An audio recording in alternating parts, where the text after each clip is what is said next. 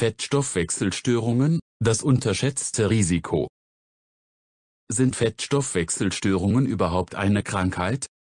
Erhöhtes Cholesterin oder erhöhte Triglyceride im Blut bereiten zunächst keinerlei Beschwerden. Bei Menschen, die selten zum Arzt gehen, bleiben Störungen des Fettstoffwechsels deshalb häufig jahrelang unerkannt. Diagnostiziert werden sie in diesen Fällen erst, wenn bereits Spätfolgen durch eine entstandene Arteriosklerose, etwa ein Herzinfarkt oder Schlaganfall, eingetreten sind. In Deutschland haben 40 Prozent der Erwachsenen erhöhte Cholesterinwerte. Es lohnt sich also in jedem Fall, den zweijährlichen Gesundheitscheck beim Arzt in Anspruch zu nehmen, bei dem auch der Gesamt-Cholesterinwert gemessen wird. Schließlich ist die Wahrscheinlichkeit, unter einer Fettstoffwechselstörung zu leiden, relativ hoch. In Deutschland haben etwa 40 Prozent aller Erwachsenen erhöhte Cholesterinwerte und 15 Prozent erhöhte Triglyceridwerte.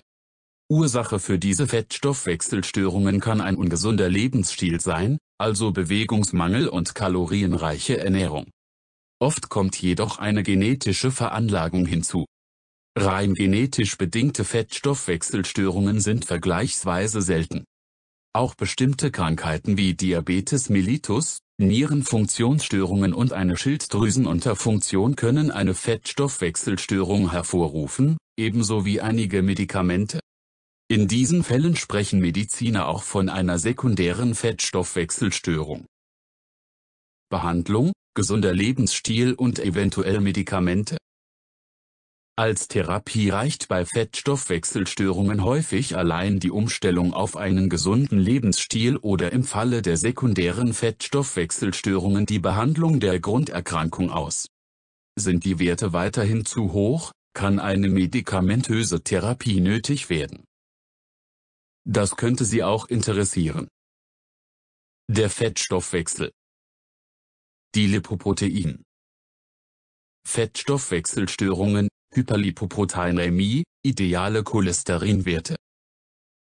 Ursachen und Risikofaktoren für Fettstoffwechselstörungen.